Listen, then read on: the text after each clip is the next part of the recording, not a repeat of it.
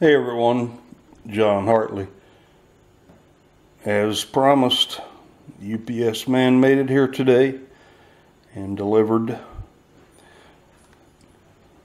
my next package from the US Mint. Not these. These ones came in last week, I guess. I started to make this video and the battery went dead, so the box is already open, but it's all right. Just pretend that I had my knife. See, it's, I got my knife. 2018 Breast Cancer Awareness Commemorative Coin Program.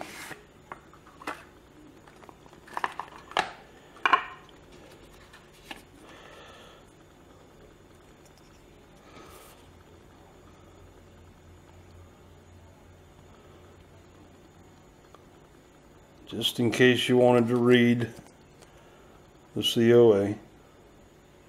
The only thing different about this COA is that um, the composition from normal U.S. Mint coins that are 90% gold, the composition here is 85% gold, 14.8% copper, and the balance of that is zinc.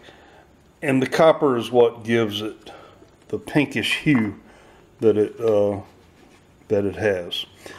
When I first saw this coin on um, Sal's uh, video, um, it didn't look pink, but it didn't look like a normal United States gold coin either. But now that I have it in my hand, and I don't know if my, you know, camera is showing the pink anymore. The first video Sal made of the coin, he was literally on the street of Washington, D.C. And, you know, maybe it was the lighting, but but now that I have this coin in hand, um, there it, it is rose gold. It does have a pinkish hue. Um, if it were any more pink, I think it would be ugly. Um, and you know, I don't. I'm not a fan of of coins that are colored. Um, reminds me too much of when everybody was putting out statehood quarters that were painted or plated or all that. And I, in my opinion, that's post mint damage. Um, and so I'm not a I, I don't own any colored coins or anything like that. Um, but this is by composition rose gold or gold that has a more pinkish hue to it. So I like it. I like the butterfly design. The obverse is not my favorite, but it's not bad. And um, it's the first gold of the year. So I'm happy with it. It's a good clean coin. No, no spotting that I can tell right here. Um, no disappointments, disappointments whatsoever. One thing I noticed after making the last video, which I had two wheat cents and two foreign coins, I was putting them into um, numista.com and uh, if you don't know about Numista, go to numista.com, check it out. It's a, um, it's a website that uh, it's as good as any coin program that I've ever seen that you could, where you um, enter your coins because it it's online. It's it's completely private. Nobody can see your page or your coins. Um, and it's maintained and updated by anybody that wants to do it. so if it's a, a, an area of coins, let's say you like coins from Rhodesia, if it's if that if they're missing on Numista, you can put those coins in there. All you need is a computer, the internet, and a camera to take a picture of the coins. So, but the majority of the coins in the world are already there. Um, I've put many of them in myself. Matter of fact, the, when I first got interested in Numista and I was putting the coins together, putting my coins in there, you know, I think it was something like uh, one of the new uh, modern commemoratives that had just come out. I entered it into Numista and a couple of others, and then I contacted the moderator, and I'm like, "Is are there any areas of coins that are uh, missing off the United States section?" And he said, "The first spouse coins." Um, only about half of them got on there. Nobody's doing it. So I did all from about Lincoln on. I did all of those. Um, I entered this one and these two. So it's a it's a good program. And before you buy something um, that you download onto a computer, check it out.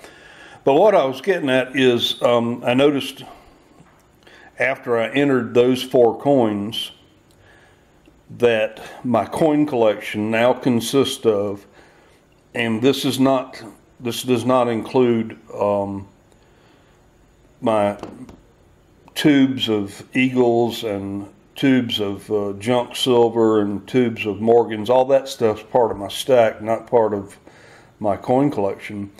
But my coin collection, as it with this coin, kind of went over a milestone. 4,651 coins in my coin collection. And it it took me over two years to put all the coins into that program. I didn't do it every day. Um, you know, I'd go through spurts when I did it, and when I do it, I do 20 or 30 coins, and it's not hard to enter them. You just uh, back uh, until about a month ago, you just clicked on it and put in the average. Uh, what you guess the average uh, condition of the coin would be. Now they've changed it to where not only can you put in, and they don't have every different grade of coin. They just have five, and you put it in the the category that's the closest your coin is in. But now you can put in the value of the coin um, like this one, I'll put in the value of what I paid for it. It may go up or down later on. But, um, and I've seen it start to happen on a few of them when four or more people in the world put a value on a certain coin at the that the grade that you put in there it will show up on yours, an average will show up of the uh, the amount of the value of that coin. And when you enter that coin, if you don't agree with the value, say you think it's worth more because yours is just extra shiny, uh, you put in a little more, and it'll, and it'll make the average go up. So um, it it's become more interesting, and every day I go in there, I see more and more coin. Not not the you know, West African states and stuff like that, there's not very many people online collecting stuff like that. Only weird people like me. But um, it was when I was putting in my Lincoln wheat cents, the the uh, the values were starting to show up. So it's uh, it's a good program. Check it out at the very least.